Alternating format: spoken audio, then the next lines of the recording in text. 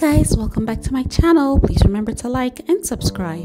Rihanna is completely fine after sparking concerns among fans over photographs of the singer with multiple bruises on her face. The Fenty mogul was spotted with a black eye on Friday while exiting a Santa Monica, California restaurant in photos obtained. Her representatives have since confirmed that she was recently involved in an electric scooter accident. Rihanna is completely fine now, but flipped over an electric scooter last week and bruised her forehead and face, her representative told people.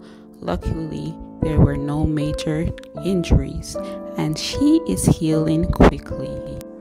In July, Rihanna front and center to launch her gender neutral skincare line, Fenty Skin, as she continues to grow her multi million dollar beauty empire.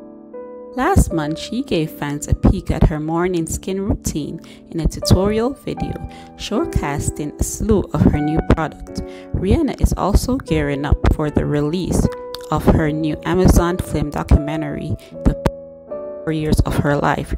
Director Peter Berg recently revealed teasing that the project is set to arrive sometime next year. Collider. She's a remarkable woman whose every day seem to grow and to new businesses and, and new endeavors at the rate it's almost hard to keep up with, he added.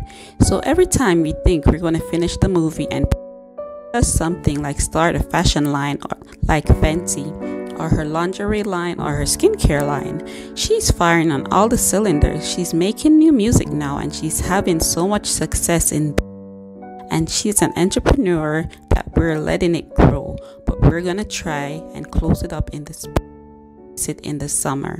And Rihanna also had this message for her fans to let her fans know that she's doing okay.